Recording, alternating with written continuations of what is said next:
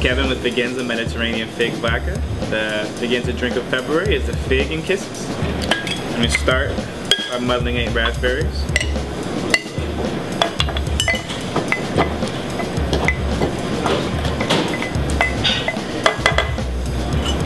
Then we're going to add two ounces of Figenza.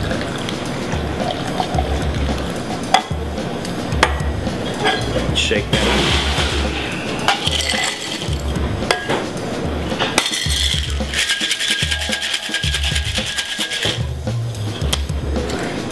Strain that into our champagne flute.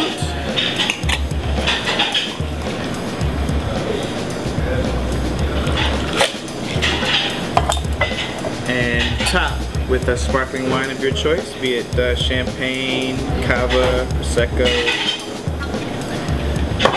and add a raspberry as a garnish. That's your Fig and Kisses.